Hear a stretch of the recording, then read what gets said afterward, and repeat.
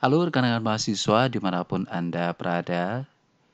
Anda saat ini sedang menyimak video penjelasan materi perkuliahan kita di mata kuliah Ekonomi Internasional. Saya berharap Anda sudah membaca slide PPT yang saya share sebelumnya sebelum Anda menyimak video penjelasannya. Pada hari ini kita akan belajar dengan topik teori klasik perdagangan internasional. Teori klasik ini tentu kita ambil dari pandangan klasik atau kaum klasik yang kita kenal pada teori ekonomi mikro maupun ekonomi makro. Dengan tokoh klasik yang kita kenal cukup terkenal adalah sebut misalnya Adam Smith, John Stuart Mill, David Ricardo, dan beberapa kaum klasik lainnya di mana pada teori klasik yang akan kita jelaskan ini nanti kita hanya uh, mencoba melihat dari uh, pandangan uh, atau teori dari Adam Smith, David Ricardo, dan John Stuart Mill. Nah, untuk memahami teori perdagangan internasional ini perlu kita pahami atau perlu saya jelaskan bahwa kita belajar teori perdagangan internasional pada dasarnya untuk memberikan pemahaman kepada kita agar mampu menjelaskan arah dan komposisi perdagangan satu negara dengan negara lain. Katakan negara Indonesia dengan negara uh, Malaysia akan berdagang dengan bagaimana? Ya, tentu apakah dia mendapatkan gains of trade atau tidak. Selanjutnya dengan teori perdagangan internasional ini juga akan memberikan uh, memberikan gambaran apa dampak yang terjadi dan bagaimana struktur ekonomi sebuah negara apabila negara tersebut melakukan hubungan dagang dengan negara lain. Kita bisa jelaskan itu dengan teori perdagangan internasional.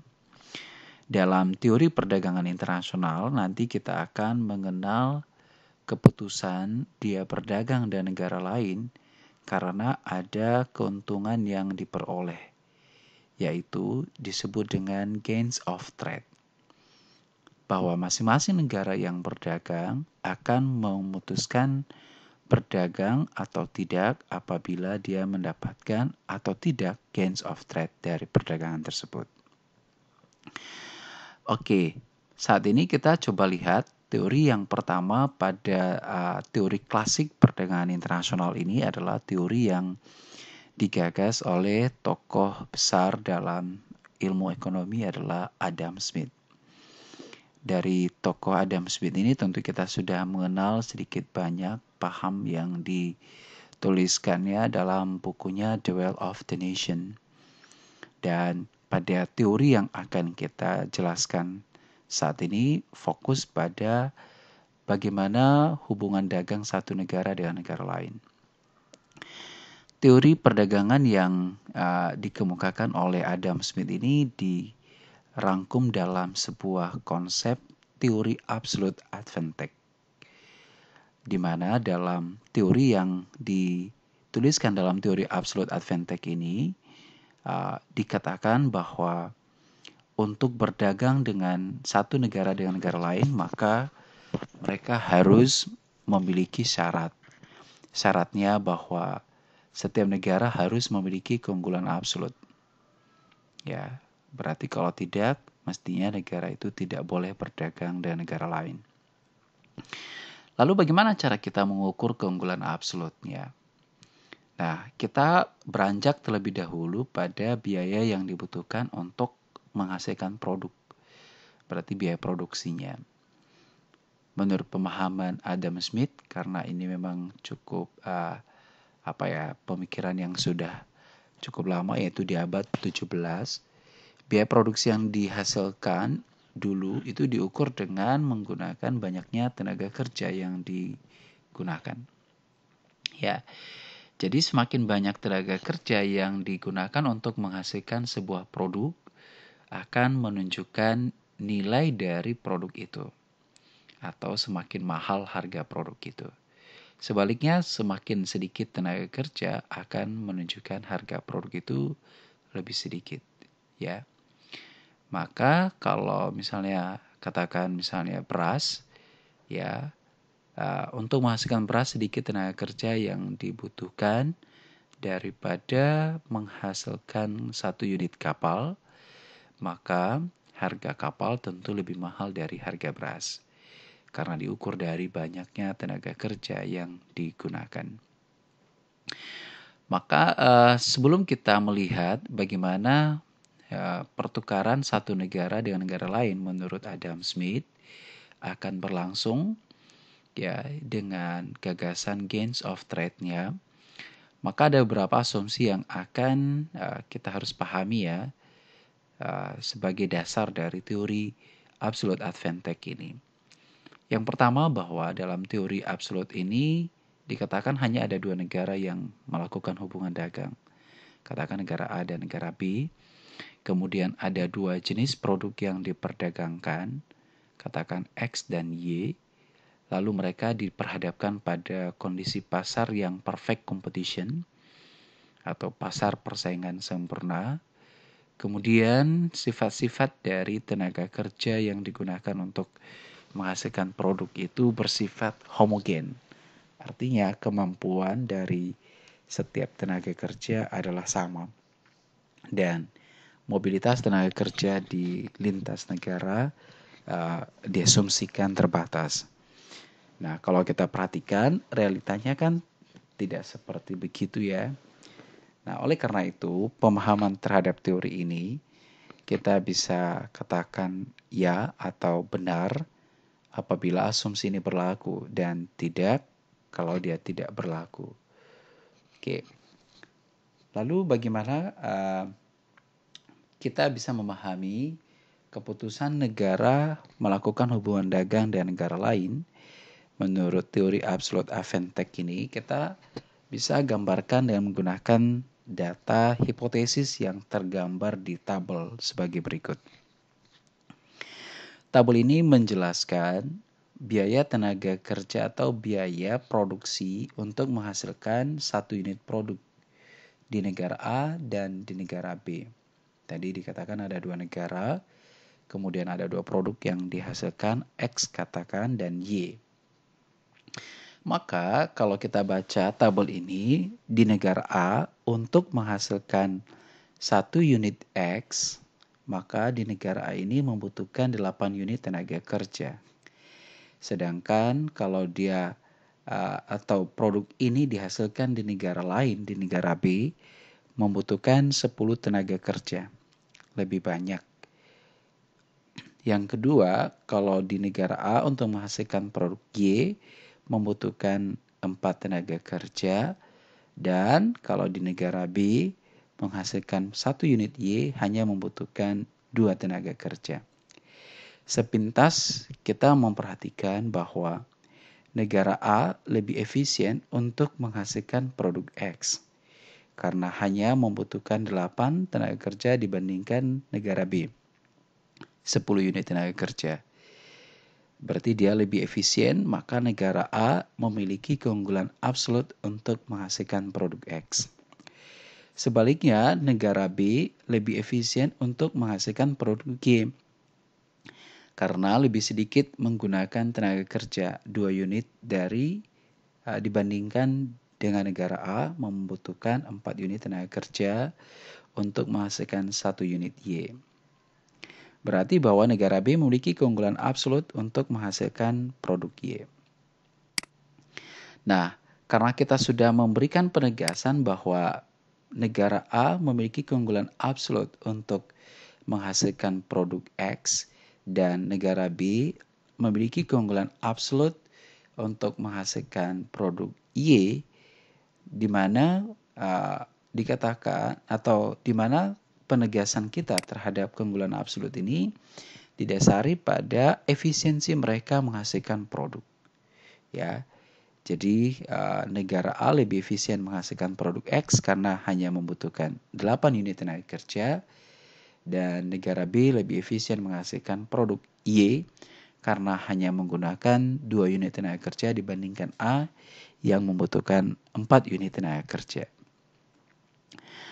Oke, dua buah negara atau sebuah negara dikatakan dia efisien dalam teori klasik atau dalam teori Adam Smith itu diukur menggunakan biaya produksi yang uh, secara absolut ya lebih rendah dari negara lain. Ya. Jadi uh, misalkan kalau katakan biaya produk atau biaya tenaga kerja itu adalah uh, katakan seribu ya. Berarti untuk menghasilkan x di negara eh saya menghasilkan x di negara A biayanya adalah uh, eh, 8000 dan biaya x yang sama di negara B adalah 10.000 berarti kan x lebih efisien lebih murah di negara A ya. Berarti A memiliki keunggulan absolut karena dia memiliki uh, biaya yang secara absolut lebih rendah dari negara B. Baik, setelah kita uh, memahami uh, per, apa keunggulan-keunggulan yang dimiliki oleh negara dari biaya produksi yang dikeluarkan untuk menghasilkan komoditas atau produk, maka uh, tentu ada nilai tukar atau term of trade yang dapat kita ukur sebelum negara itu kemudian memutuskan akan berdagang dengan negara lain. Misalkan kita lihat di negara A. Ya, kita ketahui tadi bahwa untuk memproduksi satu X di negara A membutuhkan 8 unit tenaga kerja. Kemudian kalau di negara B uh, membutuhkan 10 unit tenaga kerja. Nah, tidak memperbandingkan antara X atau A dan B dulu, namun kita melihat di negara A-nya. Kalau tadi di negara A, satu unit X itu tadi kan membutuhkan 8 unit tenaga kerja. Sedangkan untuk menghasilkan Y di negara A membutuhkan 4 unit tenaga kerja. Berarti kan perbandingannya harganya itu kurang lebih 1 banding 2. Ya. Oke. Jadi uh, 1 banding 2 ini menunjukkan biaya tenaga kerja yang diperoleh atau digunakan untuk menghasilkan X dan Y di negara A. Ya, jadi kalau misalnya uh, satu unit X berarti kita bisa setarakan dengan dua unit Y untuk di negara A. Tapi kalau dia produksi Y, berarti kan sebaliknya. Kita bisa kali silang ini ke bawah. dua ke kali silang ke bawah ya, berarti setengah X sama dengan Y. Artinya satu unit X setara dengan uh, setengah X. Ya, jadi misalnya penduduk di dalam negara A akan melakukan pertukaran ya, menjual produknya dengan orang lain yang punya X, satu unit X akan menjual ke orang yang punya Y, maka dia bisa dapat dua unit Y. Ya. Atau misalnya orang yang memiliki satu unit X, Y, dia mempertukarkan dengan X setara dengan setengah dari unit X. Ya, silakan nanti Anda gambarkan dengan beberapa uh, komoditas misalnya, ya.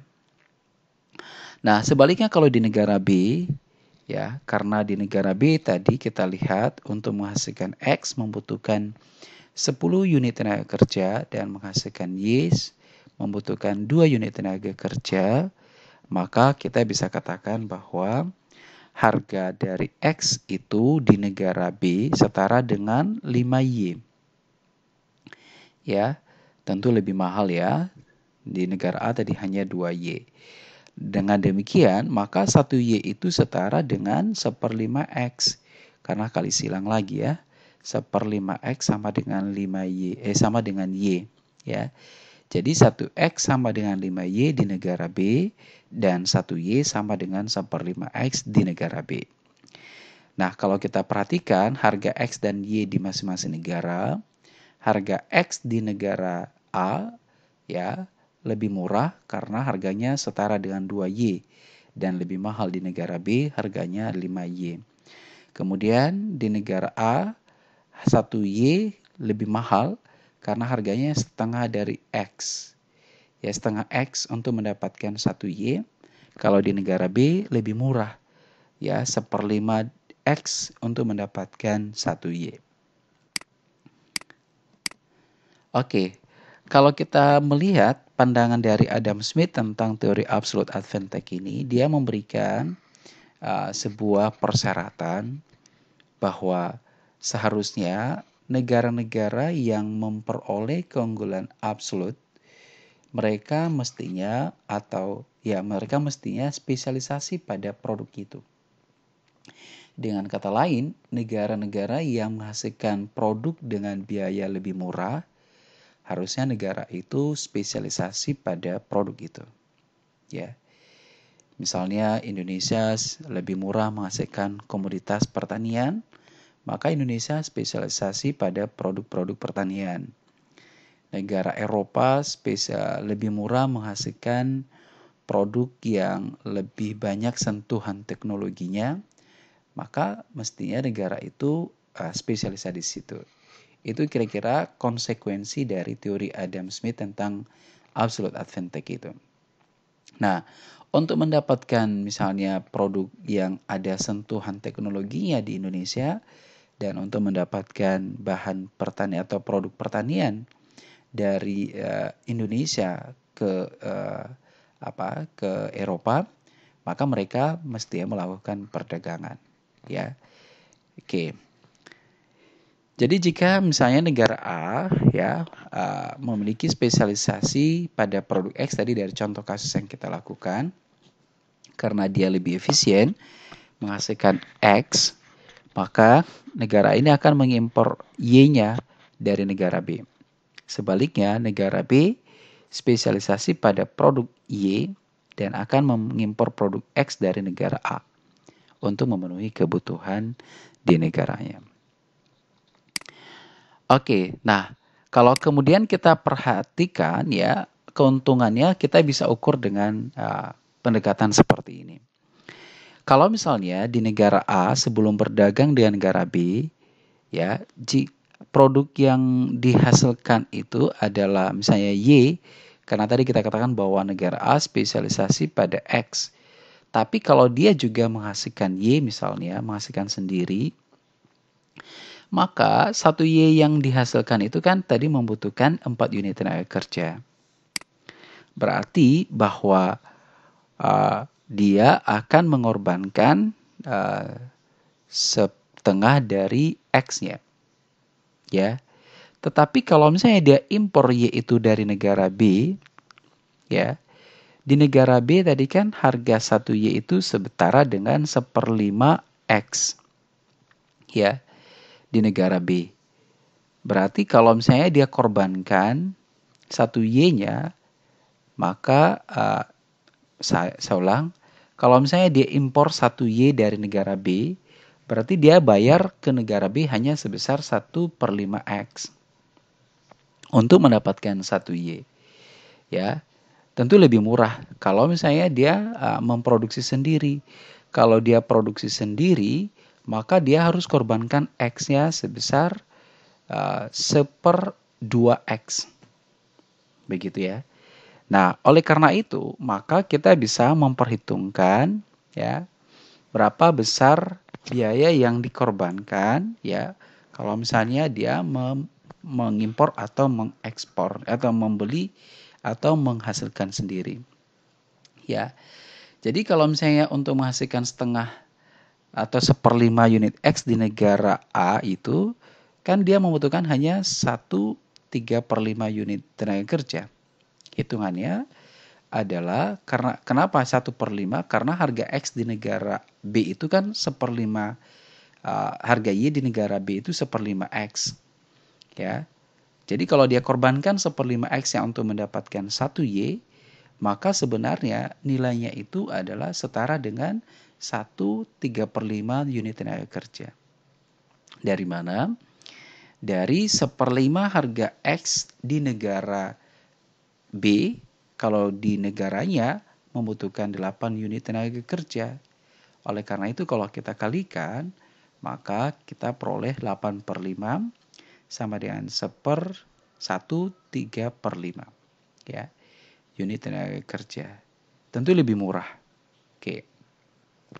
Lalu keuntungan yang diperoleh kalau kita perhitungkan atau lebih kepada penghematan uh, penggunaan tenaga kerja sebenarnya ukuran keunggulannya ini atau gains of trade ya. Ya yaitu penghematan tenaga kerja. Kalau misalnya dia produksi sendiri atau dia impor dari negara lain ya.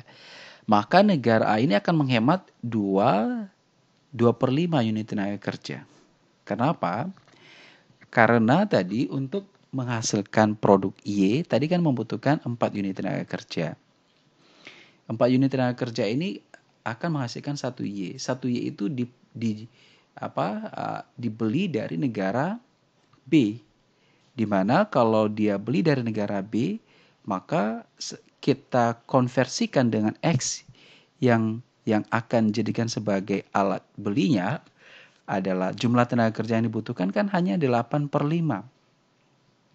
Berarti kalau dia produksi adalah 4 per 5 dan kalau dia impor biaya yang dikorbankan itu hanya 8 per 5 ya maka selisihnya ini kan 12 per 5 atau 2 2 per 5. Ya. Berarti negara A efisien atau lebih beruntung menghemat tenaga kerja sebanyak ini kalau dia uh, tidak produksi Y namun impor Y dari negara B. Begitu. Jadi dia fokus pada menghasilkan produk X saja, kemudian untuk mendapatkan Y dia akan impor dari negara B. Ini kondisi negara A. Bagaimana kalau negara B? Ya, apa dia juga mendapatkan gains of trade?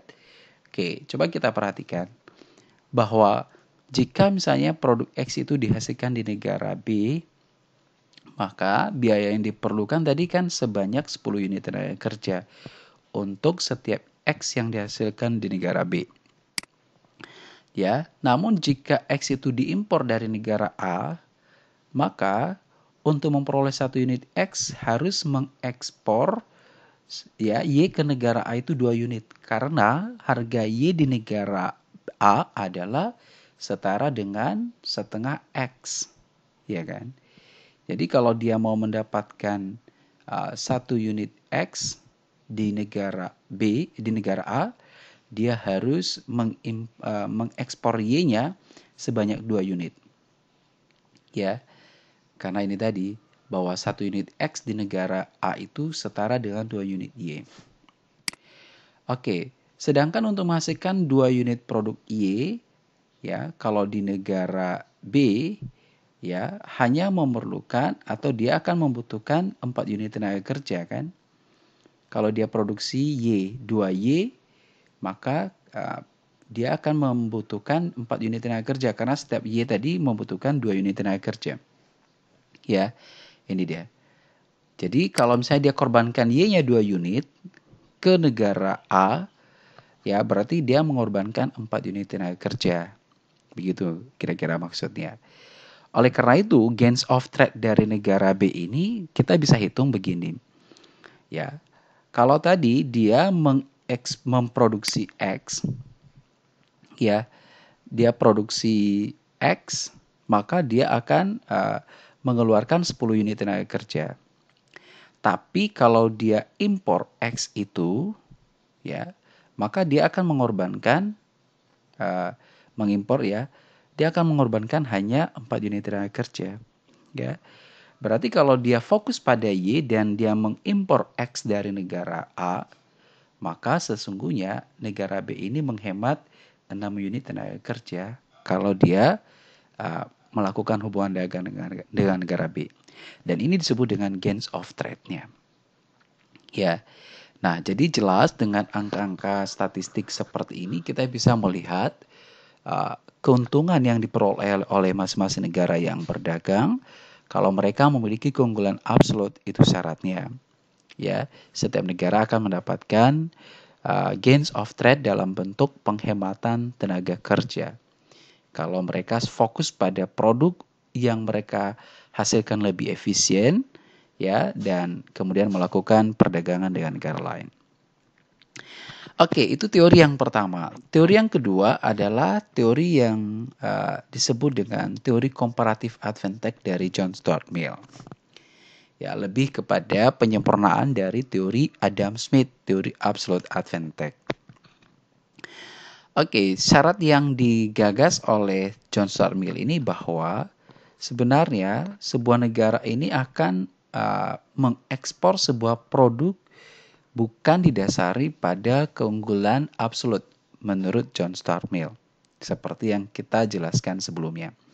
Namun lebih didasari pada negara tersebut apakah memiliki keunggulan komparatif atau tidak. Ya.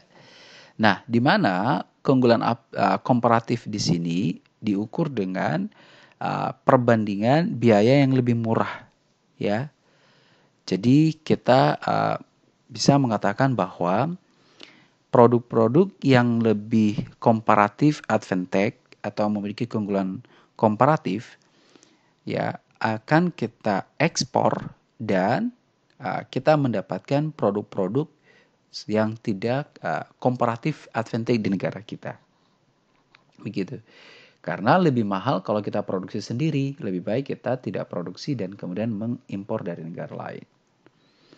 Nilai sebuah produk ini ditentukan dari mirip ya dengan uh, Adam Smith, yaitu dari banyak tenaga kerja yang digunakan untuk memproduksi produk tersebut.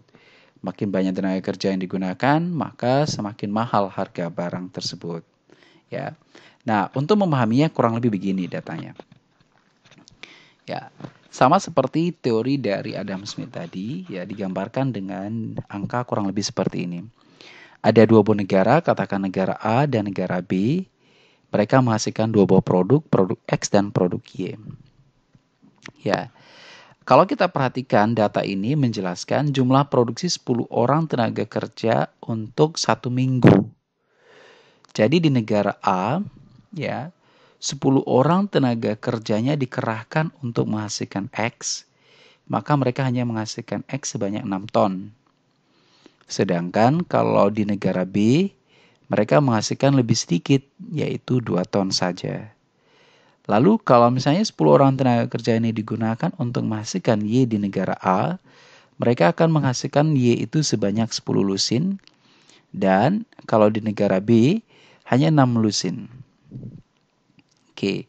Sepintas kita bisa katakan bahwa sebenarnya negara A ini memiliki keunggulan absolut untuk dua komoditas kan. Baik produk X maupun produk Y. Karena negara A lebih banyak menghasilkan uh, produk X dari negara B dengan jumlah tenaga kerja yang sama, durasi waktu kerja juga sama satu minggu. Ya, demikian juga dengan produk Y. Lebih banyak Y yang dihasilkan di negara A daripada negara B. Jadi simpulannya sebenarnya negara A ini memiliki keunggulan absolut ya dari negara B. Kalau misalnya kita menggunakan pendekatan absolute advantage, berarti negara A dan B ya tidak bisa berdagang menurut teori Adam Smith. Ya, karena hanya negara A yang memiliki keunggulan absolut. Oke, namun menurut comparative advantage sebenarnya ini bisa dilakukan perdagangan. Ya. Jadi mereka harus atau bisa melakukan perdagangan dengan cara negara melakukan spesialisasi pada produk yang memiliki comparative advantage. Bukan absolute advantage, tapi comparative advantage. Nah, pertanyaan bagaimana cara menghitungnya? Ya, oke, ini tadi penegasan yang saya katakan bahwa kedua negara uh, menurut teori absolute advantage sesungguhnya tidak boleh melakukan hubungan dagang atau melakukan pertukaran. Karena hanya negara A yang memiliki keunggulan absolut. Negara B tidak memiliki sama sekali baik pada produk X maupun pada produk Y. Ya, tetapi John Stormy mengatakan bahwa bukan keunggulan absolutnya tetapi lebih kepada keunggulan komparatifnya. Nah, bagaimana cara menghitung keunggulan komparatifnya menurut John Mill? Ya, kita coba lihat perbandingan produk X dulu di uh, antara X eh, antara A dan B. Ya, jadi kalau kita lihat tadi perbandingan produk X dengan negara B untuk negara A. Jadi kalau negara A tadi kan membutuhkan saya ulang untuk menghasilkan X 10 unit tenaga kerja itu akan menghasilkan 6 ton. Kalau di negara B hanya 2 ton. Kalau kita sederhanakan ini kurang lebih kan 3 banding 1. Ya.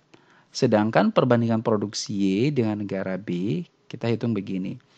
Ya, kalau dia yang diproduksi adalah Y untuk negara A kan menghasilkan 10 ton. Negara B menghasilkan 6 ton. Perbandingan adalah kurang lebih 5 banding 3. Ya, 5 banding 3 karena bagi 2 ini 5 bagi 2 3 ya. Oke, 5 banding 3. Oke. Atau kalau kita uh, kali silang nih ke bawah berarti 5 per 3 banding 1. Ya. Nah, uh, apa yang bisa kita simpulkan di sini bahwa sebenarnya kalau kita perbandingkan antara A X dan Y di negara A ya nilai ini kalau kita bandingkan dengan ini kan lebih besar ini kan. Perbandingan X negara A dengan X negara B maka uh, ini lebih besar 3 banding 1 dengan 5 per 3 banding 1 5 per 3 banding 1 ini 5 per 3 ini kan kurang lebih ya, berapa ini ya? Satu komaan ya ya. Sedangkan ini kan 3 ya. Ini lebih besar dari ini kecil dari 3 ini. Berarti bahwa 3 banding 1 ini lebih besar dari 5 per 3 banding 1 maka sesungguhnya negara A itu memiliki keunggulan komparatif pada produk X. Ya. Oke. Jadi itu cara perhitungannya ya. Perbandingan produk uh, X di negara A dan B ya. Dan demikian juga dengan produk Y di negara A dan B. Ya, di mana yang lebih besar perbandingannya itulah yang kita sebut dengan keunggulan abs, uh, komparatif. Oke, sedangkan kalau di negara B kita coba perhatikan ya, untuk menghasilkan X di negara B tadi kan 10 unit tenaga kerja ya. Produknya adalah 2. Ya. Kalau di negara A 6. Berarti kan kebalikannya ya 2 banding 6 atau sepertiga banding 1. Dari mana sepertiga ini? Kalau kita sederhanakan kan 1, ini 3. Maka tiganya kali silang ke bawah. Kita upayakan menjadi satu perbandingan satu begitu. Ya. Oke, untuk memudahkan pemahaman kita. Jadi sepertiga banding satu. Itu di negara atau di produk X. Kalau di produk Y, perbandingan negara A adalah 6 banding 10 sama ya. Berarti 3 per 5. Dari mana? Sederhanakan menjadi 3 per 5. ya. Lalu 5-nya kali silang ke bawah. Berarti 3 per 5 banding 1. Nah, mana yang besar? X atau Y untuk negara B? Coba dihitung. Sepertiga, mana yang besar? Antara sepertiga atau 3 per 5? Ya, 3 per 5 itu lebih besar dari sepertiga. Ya, berarti di negara B yang memiliki atau komparatif advantage-nya adalah pada produk Y. Begitu ya. Jadi ini cara perhitungannya ya. Oke, karena negara A katakan komparatif advantage-nya pada produk X dan negara B komparatif advantage-nya pada produk Y, maka setiap negara kan memiliki keunggulan komparatif ini. Berarti menurut teori John Stuart Mill, kedua negara ini sesungguhnya boleh melakukan perdagangan begitu ya caranya apa ya sama seperti pandangan apa Adam Smith tadi bahwa A fokus pada produk X karena dia memiliki keunggulan komparatif di X dan B spesialisasi saja pada produk B karena dia memiliki keunggulan komparatif. Ya. Oke, jadi karena A memiliki keunggulan komparatif pada produk X, maka A spesialisasi pada produk X saja. Dan karena dia butuh juga produk Y, maka produk Y itu dapat diproduk, diimpor dari negara B. Kemudian karena B memiliki keunggulan komparatif pada produk Y, maka B eh, maka negara B harusnya spesialisasi pada produk Y dan mengimpor produk X dari negara A. Begitu. Artinya mereka melakukan hubungan perdagangan. Oke, coba kita ukur uh, nilai tukar di masing-masing negara. Ya, artinya harga komoditas di masing-masing negara. Karena tadi dikatakan bahwa untuk menghasilkan X dia akan mendapatkan 6 ton. Untuk menghasilkan Y dia akan mendapatkan uh, 5 lusin ya. Maka kurang lebih perbandingannya kan seperti ini. Ya. 6 ton, 6X sama dengan uh, 10Y. Ya. Kita berapa bagi dua berarti uh, satu satu banding lima ya eh tiga banding lima maka tiganya kali silang ke bawah berarti 5 per 3 ya. Jadi satu X itu di negara A adalah setara dengan 5 per 3 Y. Ya. Oke, kalau kita senarakan lagi kurang lebih 1 2 per 3. Oke, jadi ini harga uh, X di negara A. Harga Y di negara A adalah ini sama juga ya. Nah, ini 1 banding uh, 3 per 5. Ya. Nah, ini cara perhitungannya ya. Oke. Lalu kalau di negara B, karena tadi di negara B untuk menghasilkan X saja dia menghasilkan 2 ton, kalau Y 6 lusin. Berarti bahwa 2X setara dengan 6Y yang dihasilkan 10 tenaga kerja tadi. Ya. Kalau kita sederhanakan bagi 2 berarti ini 1, ini 3. Maka 1X itu setara dengan 3Y di negara B. Dan 1Y itu setara dengan sepertiga X. Oke. Lalu kalau kita hitung ya misalnya uh, berapa gains of trade yang diperoleh oleh negara A dan negara B. Kalau misalnya di negara A ya Y itu diproduksi sendiri, maka setiap Y yang diproduksi akan mengorbankan 3 per 5X. Karena di negara A, ya coba kita perhatikan, ya harga Y itu adalah 3 per 5X. Ya, 1Y itu sama dengan 3 per 5X. Itu ya. Oke, jadi kalau dia produksi sendiri Y-nya akan dia korbankan 3 per 5X. Tetapi kalau dia impor Y itu dari negara B yang memiliki keunggulan komparatif, maka uh, kita perhatikan harga Y di negara B kan sebanyak apa? Uh, di negara B itu kan sepertiga X. Ya. Jadi yang dia korbankan itu lebih sedikit begitu ya. Karena nilai tukar di negara B itu adalah satu sepertiga X sama dengan eh satu Y itu setara dengan sepertiga X. Ya. Artinya bahwa kalau dia uh, menghasilkan sendiri dia akan mengorbankan 3 per 5X. Dan kalau dia impor dia mengorbankan hanya sepertiga X untuk setiap unit Y yang akan dibelinya. Uh, Berarti kan lebih murah dibandingkan dia produksi sendiri. Ya, sehingga kalau kita lihat gains of trade-nya, maka ini kurang lebih. Ya, 3 per 5X ini artinya biaya yang dikeluarkan untuk mendapatkan satu unit Y. Ya, di negaranya kan seharga 3 per 5X untuk setiap Y. Tapi kalau dia impor, dibelinya dari negara B, harga di negara B kan sepertiga X. Ya, Berarti selisih yang inilah menjadi gains of trade-nya. Ya. Nah, dari mana cara perhitungannya adalah ya sederhanakan dulu ya. Samakan penyebutnya ya baru dapat 4 per 5X. Berarti biaya atau keuntungan negara A ini adalah setara dengan 4 per 15X untuk setiap Y yang diimpornya. Nah, apakah negara uh, A saja yang beruntung? Tentu tidak. Negara B juga mengalami keuntungan. Ya, hitungannya bagaimana? Nah, kalau tadi dikatakan bahwa uh, negara B akan spesialisasi pada produk Y, berarti dia kan impor X dari negara A. Tapi kalau misalnya dia produksi sendiri X itu, maka dia harus mengorbankan 3Y untuk setiap IX-nya. Karena harga X eh harga X di negara B adalah sama dengan 3Y. Tapi kalau dia impor ya harga Y, uh, X di negara B kan hanya 5 per 3 Y. Harga X di negara A ya 5 per 3 X, eh, 5 per 3 Y. Ya, maka sesungguhnya kalau dia berdagang dengan negara B, maka keuntungan dari eh, negara A, maka keuntungan negara B itu adalah kurang lebih gini. Untuk mendapatkan satu unit X, kalau dia produksi sendiri adalah 3Y. Kalau dia impor, dia mengorbankan 5 per 3Y. Selisihnya adalah 1, 1 per 3Y. Ini gains of trade dari negara B.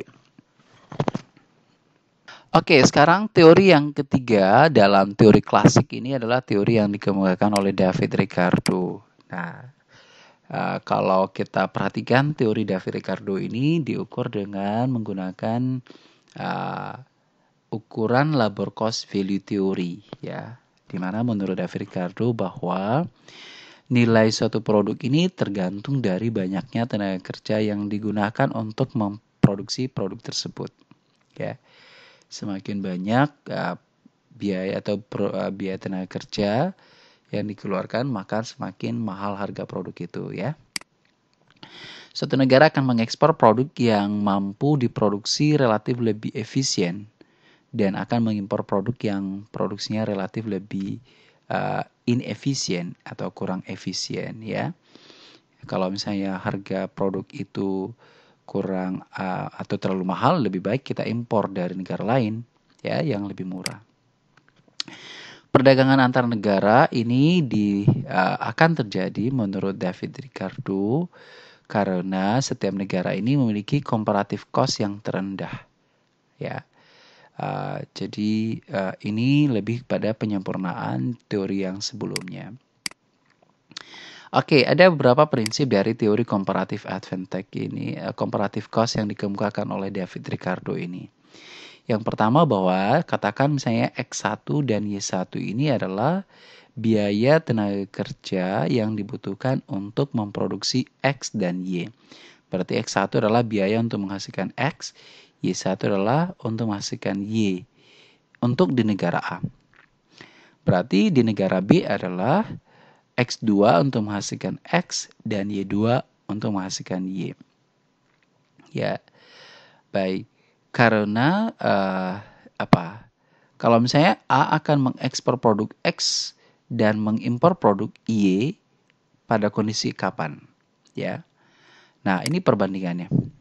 Ya negara A akan mengekspor X ya dan dia akan mengimpor Y kalau misalnya ya uh, ini kondisinya X1 per Y1 lebih kecil dari X2 per Y2 ya artinya biaya perbandingan biaya tenaga kerja untuk memproduksi X dan Y ya di negara A lebih rendah dari perbandingan biaya produksi X dan Y dari negara B.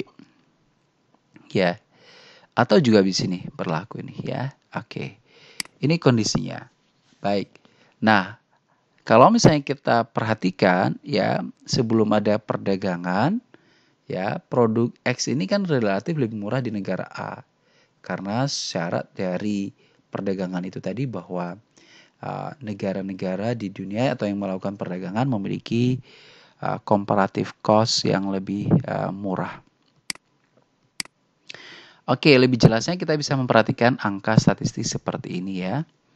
Yaitu misalnya ya untuk uh,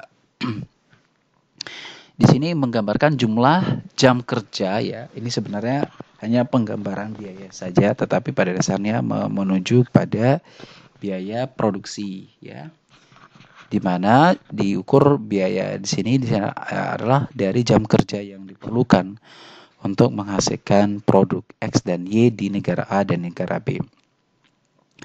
Oke, kalau di negara A untuk menghasilkan satu unit X membutuhkan 3 jam kerja dan kalau dia produksi Y membutuhkan 4 jam kerja. Kalau di negara B memproduksi X itu 6 jam kerja dan kalau dia produksi Y uh, membutuhkan 5 jam kerja ya oke berarti bahwa uh, ini garam gambarannya baik sekarang kita coba perhatikan ya di mana negara yang lebih uh, murah ya kalau perbandingannya seperti apa ya jadi karena dia menghasilkan X itu membutuhkan 3 jam kerja ya sedangkan negara B 6 jam kerja berarti kan lebih efisien negara A. Begitu ya.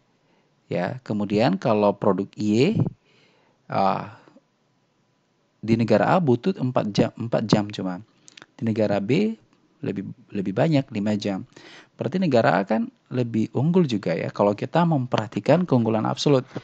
Jadi sesungguhnya negara ini, dua buah negara A dan B ini kalau kita berpedoman pada teori keunggulan absolut, mereka tidak bisa berdagang. Nah, menurut David Ricardo bahwa kedua negara ini bisa melakukan perdagangan kalau kita ukur dari perbandingan komparatif cost-nya. Nah, coba kita ukur perbandingannya. Komparatif cost untuk X ya dengan produk Y di negara A. Tadi untuk menghasilkan X biaya kan uh, 3 jam di negara A ya. Kemudian uh, kalau di negara atau menghasilkan Y membutuhkan 4 jam kerja. Berarti kan perbandingannya kurang lebih 3 per 4. Kalau kita disimalkan ini 0,75. Sedangkan uh, comparative cost X dengan Y di negara B ya. Ini hitungannya untuk menghasilkan X tadi di negara B membutuhkan 6 jam dan menghasilkan Y di negara B adalah 5 jam. 5 atau 6 per 5 ini perbandingan adalah 1,2. Oke, karena kita mengatakan bahwa 0,75 ini lebih besar, lebih kecil dari uh, 1,2 kan?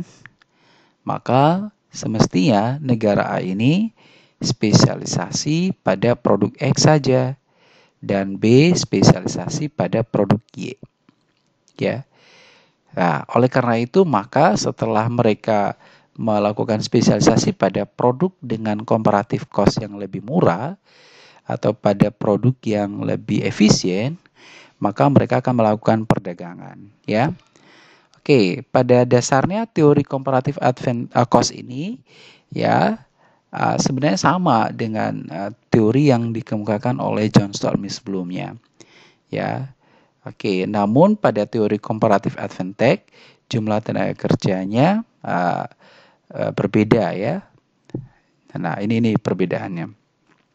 Sedangkan pada teori comparative cost untuk jumlah output tertentu, waktu yang dibutuhkan berbeda antar satu negara. Di sini letak perbedaan antara teori John Stuart Mill sebelumnya dengan teori David Ricardo.